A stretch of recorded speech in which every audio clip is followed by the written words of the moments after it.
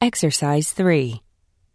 In those more hopeful and innocent days, there was much to enjoy about being newly a queen.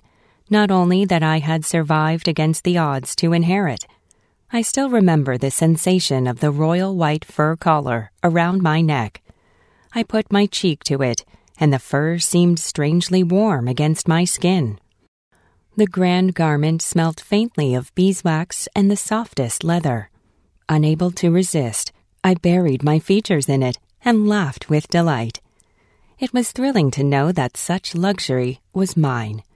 My ladies laughed with me, equally delighted.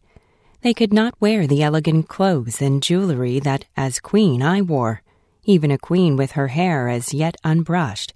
But their circumstances as my attendants were vastly better now that I was queen.